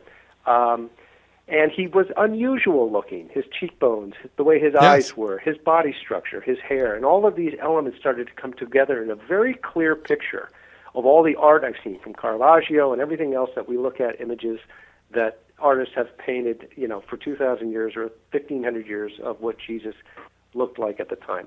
And then I looked at the Shroud of Turin too, and just it kind of all just came together. I reached out to his manager on a fluke, and out of nowhere to check his availability, and out of nowhere, Cliff calls me on my Maltese cell phone. out of nowhere. And he said, I've never done this before, but I'll tell you this I've always wanted to play the role of Christ. And we had a long conversation. And I found out he was an altar boy, and he came up through Catholicism and later became, you know, Christian and very spiritual. And he had a very interesting approach to it, which was being completely grounded and uh, a sense of affirmation. Now, I didn't understand it until we started speaking more about it, but he had a handle on how he wanted to do it because, as he said, he's always wanted to do it. Hmm.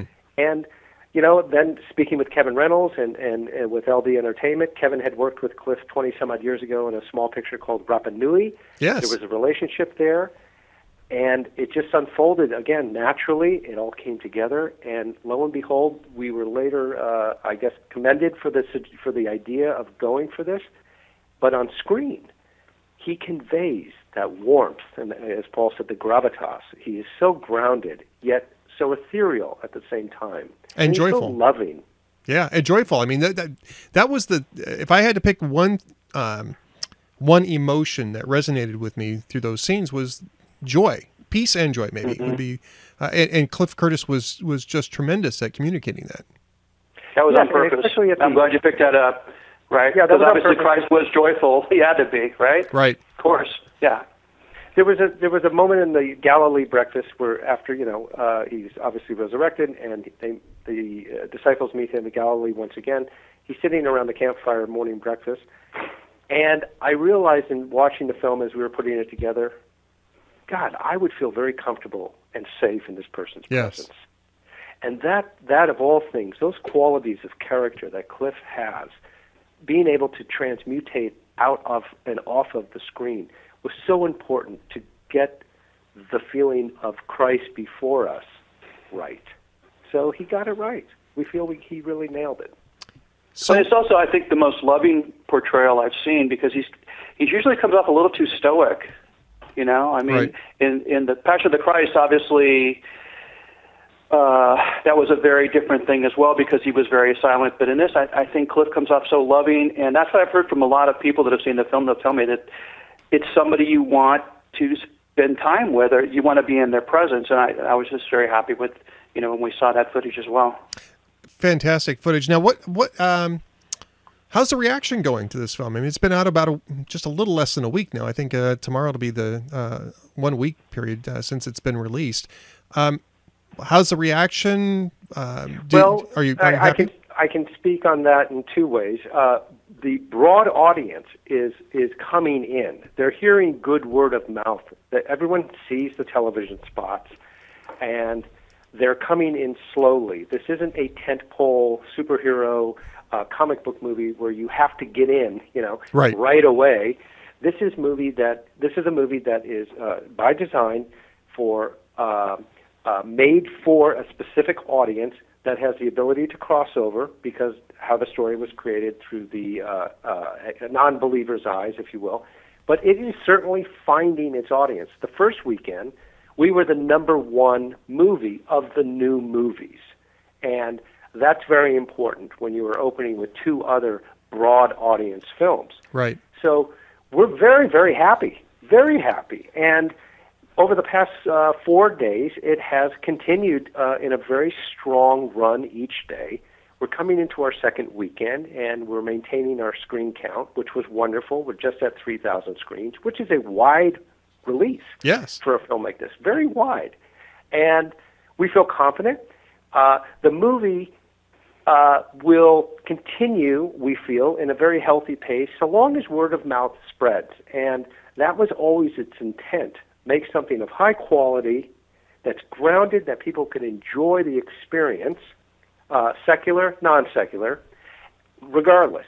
Make something of quality for this market and the broad audience, and people will share their experience, and hopefully they like the movie. That's what we're finding now is happening.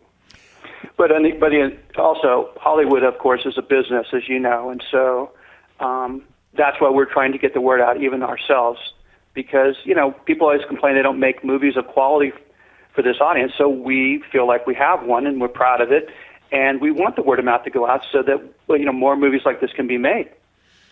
Well, it's as simple as that, right? Right, and and and so you know, I, I went over and looked at Rotten Tomatoes. Um, Paul asked me to see if I could work my review somewhere into Rotten Tomatoes, and I did finally figure out how to do it as a just as a regular, you know, uh, moviegoer. Um, okay. And I've got it list, you know, just kind of stuck it in the comments basically, and um, also I it got all it helps. everything right. But I went to Rotten Tomatoes and you know, I, I go to see these these movies that are um, uh, the biblical movies that are made on you know lower budgets, um, you know, earnestly made and, and and very entertaining, but generally speaking, do not get very good reviews. I'm looking at Rotten Tomatoes, and actually, this is getting good reviews. It's it's uh, it's it's fresh on the Rotten Tomato um, meter amongst the critics, amongst the top critics. It's fresh, and of course, it, it's even much better uh, with with the audience. But I was actually surprised by that because this type of movie doesn't usually get that kind of reaction. Well, Agreed. that's what we were shooting for, of course. But go ahead, Patrick. These these sites are uh, they're wonderful tools to get word of mouth out. Fandango, Movie.com, uh, certainly Rotten Tomatoes, I think, is at the top of the list. These are wonderful opportunities where people can weigh in uh, anonymously or what have you, and certainly put forth their thoughts. Um, and you and we have no control over it. Neither does Rotten Tomatoes or any of the others. So you know you're rolling the dice, but fingers crossed you uh, have brought to fruition what you intended, and people are going to respond to it, and they have. And what was nice to see is the huge amount of people that came in and gave the movie uh, four and a half stars, five stars, three and a half stars, which ultimately added up to an 80% viewer rating of thousands of people. And we're so happy and blessed by that because that's what we were hoping for. On the critic side, however, you know, you have a lot of uh, secular and non-secular critics. So all of their reviews get pooled together into one rating, and we've just now crossed over the 60%, 62% line, which which evidently enables us to be quote fresh. But also that is a gift because people go to the movies based on these ratings. So Yep. it's helpful on the Fandango site, however, of the thousands reviews, thousands of reviews, we're sitting at four and a half out of five stars, which is wonderful because that's where people go to buy their tickets. That's great. That's great, and it really signals that you're gonna. This is gonna have some staying power. Which I- I'll tell you. A, I'll tell you a personal story along those lines. And my wife is actually listening to this as I'm I'm doing this, and she will tell you that one of her big complaints about me and my um, taste in movies is that one, I tend to watch movies over and over again, um, and two, I tend to watch bad movies over and over again. I'm it's sort of like one of these bad movie aficionado things. So that is not that is no reflection on Risen, folks. I mean, I I know when movies are bad. I just enjoy them for their badness, and there are some movies that, that I just do that with. But she gets really annoyed with me when I say that you know, I, oh, I want to watch this again, uh, even if it's a good film. She's like, well, you've seen it before. Uh, she has been telling me for the last two days, we're going back to go see this movie one more time. And Oh, that's right. So if if she's willing to go back and see a movie in the theater a second time, one week after having watched it, just really days after having watched it uh, the first time, I think that tells you something. That's wonderful. Well, you know, it's it's funny. It has that. I've heard that from multiple people, I, and I think the reason why is because once you go through the experience, you really want to go back and now watch Clavius's transformation. Because I, I'll tell you, the second time it's actually better because you can relax. You know where the story's going, and the performance is very powerful. Joe Fiennes' performance, you you see Yep. it slowly uh, coming to him to the point where he's like he just wants to get this over with. Then as the clues start coming in, he's like he's wondering, and then he has that great moment where he looks at the uh, little icon of Mars, and you see it that he's starting to question his whole reality, even before he sees Christ. He's starting to know that wait a minute, this is, might be real. So it's, it's a wonderful performance, and it, it, it's one of those films where you're going through an emotional ride, and by the time it ends, you've seen him. Just like all of us, it, it's a transformation, which is what we all want. We all want to transform, and he gets what he wants, just not the way he thought he would. He gets his day without death. He's changed. He's no longer a soldier at the end. What I so found, it's a beautiful, beautiful transformation. Okay, go ahead. No, I was just going to say what I found, how I saw this, uh, is that basically he's almost dead anyway. the beginning of this movie, he doesn't care Yeah. about anything. All he wants, like you said, a day without death. But basically, all he wants to do is just not deal with life. He wants to go someplace and escape and and not have to deal with life anymore. He's weary. He's got nothing to say. He's got, um, you know, he's got nothing. He's got no hope. And the same arc that you're talking about is really him coming back to life. He well, he comes kind of back to stands in life. for modern man too. That was kind of the idea. Yeah. And the other thing And I just can want I- to put in there. oh, go ahead, Patrick. Go ahead. I just wanted to address that and why, though it's a period film and takes place in you know early 30 A.D., um, it's a contemporary film, and Yeah. Clavius's character was designed on purpose for that uh, reason. Um, in that, this film was not by luck, chance, or coincidence, in the sense that it was not created as just something to do. There was a point and a message here, uh, and it was to show through Clavius, a man who basically has obtained everything in his professional career and wants to simply retire in peace with power and wealth. We wanted to show the everyman with everything or on his way to having everything how one could be changed and if one was willing to sacrifice or to make small changes there could be a greater change at the end the spirit and theme of redemption and resurrection was the through line of the whole piece Yep. we see it outpictured in what Yeshua has done to show his disciples the way, if you will, because they were ultimately the followers of the way. This applies to Clavius, and Clavius applies to us. If we're willing to make small changes and redeem our choices and change, there can be a greater world for us individually and on the whole. And that was the point behind it. And we're we're hoping that trickles down, if that makes sense. It does. It makes perfect sense, and I think it comes Well, through loud. And another little, I was going to throw something into you, a little inside baseball, but if you, the way that it was constructed, this was also Kevin's rewriting of the script. There's a lot of that, not just Clavius, but also we see Thomas, who obviously we understand the doubting Thomas of it all because he didn't believe the other disciples. He encounters Christ. We see Mary Magdalene, who speaks of her former life. We see Peter's reinstatement. So there's there's all these little arcs built in where we those scenes were picked on purpose because they mirror the bigger picture of Clavius because even the disciples went through those changes as well. Right. It's a good point. It's a great point, actually. And and you know, there's there's just these little subtleties all along the way. I mean, th- the nice Right. thing about this movie is it doesn't hit you over the head with the with a with a two by four to to make the point. And and so much of that is because of the performances, but also because of the mm. writing and because of the way that this film was just set up. It is it it draws you in. It makes you feel as though you are part of the story. And I, I'm it it is not. It sounds like filmmaking 101, but so few films actually succeed in being able to do that. Well, that's also Kevin Reynolds' uh, directing brilliance, uh, Ed, because also something we haven't talked about, but all great filmmakers do this, and I'm sure you're probably going to understand this, is that towards the end of the film, when the film starts transitioning into an experiential uh, sequence through Clavius, many times at key moments, he cuts to Clavius's eyesight, his POV. Right. For instance, when he's on the rock sleeping and he wakes up and something stirs him and he looks, then we cut to his POV of seeing Christ on the rock. We're inside his head. Yep. So that's how he that's how Kevin pulls you into this character because or when he sees the uh, the disciples rushing to the shore of Sea of Galilee when Yahshua was on the shore, we cut we see we see Joseph Fiennes's face and then we see what he sees. So Ke- Kevin Reynolds is putting you in his head. Yep. And that's why you feel that pull into him. And one of the reasons, I should say, the, the, the sole inspiration for me in, in suggesting Kevin Reynolds to do this picture was because of the experience I had in watching on the big screen his version of The Count of Monte Cristo, Yes. which is, which is a story, pure and simple, about complete redemption and resurrection of a man in, in his willingness to change. Though naive and innocent and falsely imprisoned, that character made huge leaps and bounds to become something else, right? Right.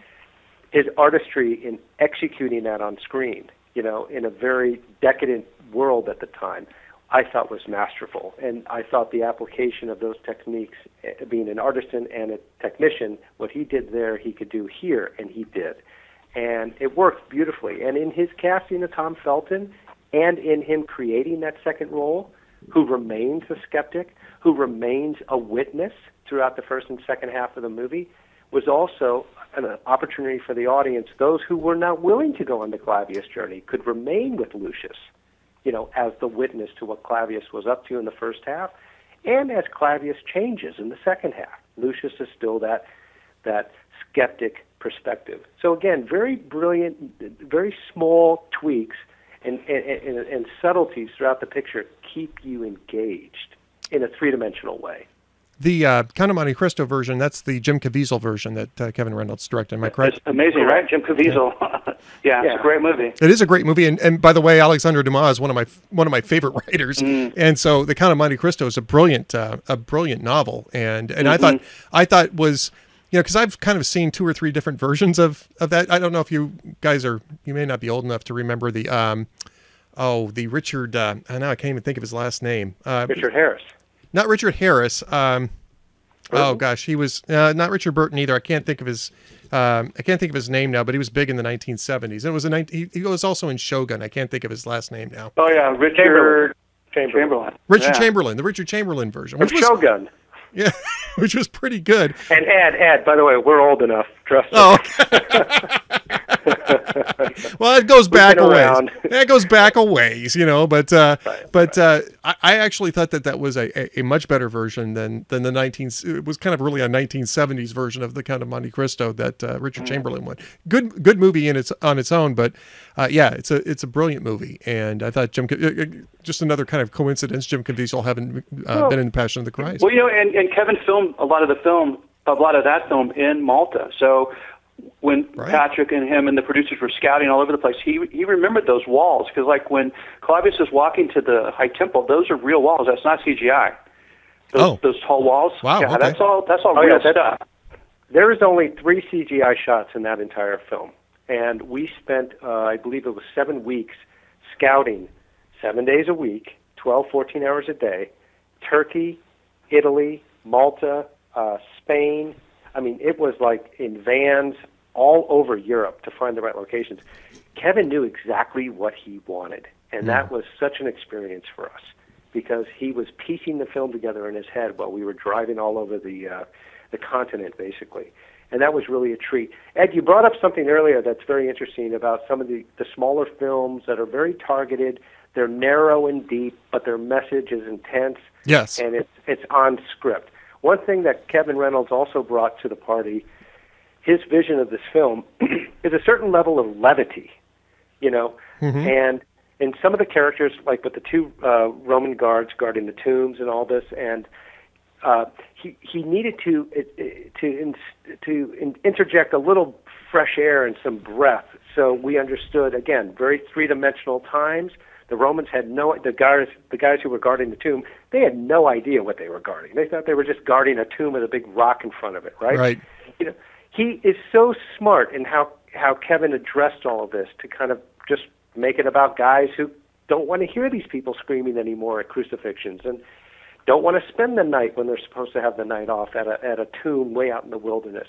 So again, Kevin brings such a wonderful worldly perspective in so many different perspectives to this world serious, intense, dangerous, loving, joyful, and with levity. It really is a whole experience in that regard, as opposed to the yep. more chapter and verse, narrow, deep, focused, smaller faith based films. Right. And uh, not that there's anything wrong with those films because I, I enjoy those films, but yes. this one this one is just on a different level. It's on another level artistically.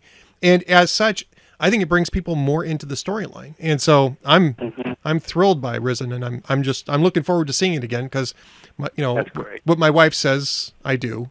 She will be surprised to hear me say that, of course. She'll in about twenty honest, seconds. Honesty. In about twenty seconds, you're going to hear her laughing behind me. But uh, I, I'm I'm telling you that that's that you guys know that it's usually the way it works. Anyway, of I course. Have, I have kept you guys far longer than I told you I was going to keep you, and I want to thank you so much for sharing Thank some you. of this with us. Um, congratulations again to both of you. I just think that this is a marvelous film, and anything I can do to help get the word out on it, you know, just let me know. I'm happy to do it. Thank you. Thank you very Thank much, you very much. And thanks for for the your nice review. Well, thank you very much, Paul and Patrick Aiello. Thank you so much for being with us today. Take care, Ed. Bye-bye. Bye. All right, folks, we're going to go ahead and wrap things up. Nice guys, great movie. Cannot recommend it enough. It really is that good. And uh, you know, I got the the poster for Greater Glory behind me. That was a fantastic film. This is another fantastic film in a completely different way. Um, and I would say, even if you're not necessarily into the biblical epic sort of film, the performances here are so powerful that I think you would just enjoy it as a fan of cinema. And so I'm laying down that marker. You guys got to go see it and then let me know what you think. And um, uh, so, and and again, if you're if you're a fan of the Count of Monte Cristo Jim Caviezel version, well, there's a hook there too. I saw that Cranky T Rex is one of his favorite films. It's one of my favorite novels, um, Count of Monte Cristo, and so is you know for that matter, Three Mus. I, I just love Dumas. I've got the whole collection of Dumas around here someplace. I've, I've probably gone through about a third of it, and I really want to. I guess this is a life thing. I want to go through the rest of it and read the rest of Dumas' work, but I've read the important ones, and so um, yeah, the the uh, this is this is really a fantastic uh, piece of cinema. I would highly recommend it, as uh, as well as recommending Going Red. The 2 million voters who will elect the next president and how conservatives can win them. Go to goingredbook.com to find out more. Coming up at CPAC a week from today, I will be giving away, I think, probably close to 50 copies of this, if not 50 on the nose, that I will sign there at CPAC. These are, of course, the galley proofs that I will be giving away. So if you're coming to CPAC, uh, this is like putting my face in the shade here, but I'll just put it up in front of my face here. I sort of look you know, like I'm peeking around here, but uh, if you're coming to CPAC, Thursday 4:30 I'll be someplace. I don't know where I have no idea where this is at, but I know it's Thursday at 4:30 in the afternoon. I will be signing copies of this and giving them away. We don't sell these; these are uncorrected proofs. Um, and uh, in the meantime, of course, go to goingredbook.com and pre-order your book. Saturday, I will finish recording the book. So the Audible version will be available for pre-order, I think, shortly thereafter. So if you're interested in getting the audio version of it, it'll only, I don't think they're going to do CDs. I think it's only going to be download. Um, that option should be on the website, I would say, in the next week or two. As soon as they have the recording and it's edited together and ready to go, I think they will have the uh, op- that option ready for pre-order at that point in time. They don't do it before then. I discovered, um, you know, they got the book in hand, so they know the book exists and they can get it out, but they have to wait till the recording's done to put that option up. So I will be finishing that on Saturday, and it's going great, by the way. It's going very well, very smoothly. Um, I am recording at a place called Babel On Studios in uh, in Minneapolis. Um, Andre and Carol run Babel On Studios, and they're doing a fantastic job. And we've actually become friends with them. Um, the first mate comes with me to the recording sessions, and we're having a great time. So uh, probably be a shorter day on Saturday because we're I'm about 85% done with the book. So the lozenges do help, Fausta. They do help indeed. anyway, this is getting to be pretty long. I want to thank everybody for being with us. I want to thank everybody who's pre-ordered Going Red, by the way. But I want to thank everybody for being with us. Cranky T-Rex at Cranky T-Rex on Twitter. Um, crankytrex.blogspot.com on um, for his personal blog and um, buzzpo.com for where he writes and occasionally hotair.com when he and I uh, do uh, movie reviews or sometimes he's writing about something else. Occasionally he'll dip into hot air and of course we love to have him. Um, don't forget to put your own URLs up in the chat room. We're all about shameless blog promotion here at the Ed Morrissey Show. Play a little walking music here. Who else has been in the chat room? It's been a long show, so I know some of you have uh, already disappeared, but uh, Big Richard Small, Greg Nichols, the Hugh Crew Cruise cruise mate, uh, and uh, one of the fabulous tribbles here is probably going to be listening to the Hugh Hewitt show coming up in about 15 minutes with Mike Gallagher at the helm today because Hugh Hewitt will be one of the CNN debate uh, panelists. And the debate starts at 8:30 Eastern Time, 7:30 Central Time, 5:30 on the left coast. So be sure to watch it on CNN and then stay tuned to the Salem Radio Network afterwards for an hour worth of um, uh, debate analysis. So be sure to uh, put that on your calendar tonight. Conservative and Liberal Hands, Fausta from FaustasBlog.com, a great Western Hemisphere blog. I read it every single day, and so should you. Little known fact Fausta's the one who found uh, Jim Caviezel from Count of Monte Cristo. Little known fact. Not really. Guelph, Iron Kid, Juanito Cabron, Caldeth, Mr. Fastbucks, another one of the fabulous tribbles. Prairie Dog SD, via Paso at the Ancestral Morrissey Manse. Come on. And the first mate behind me, keeping me on the straight and narrow. Don't forget, goingredbook.com. The book comes out April 12th. I'll be at CPAC next week giving away signed copies of the galley proofs. Around 50 or so of them. If you're there, come by. I'll sign it. You get it for free, but you have to promise me you're going to buy a copy after that. So, I don't know if you have to promise me that, but I'd really like you to promise me that. This does not have an index, by the way, and the hardcover uh, cover is going to be actually a nicer version of what you see here.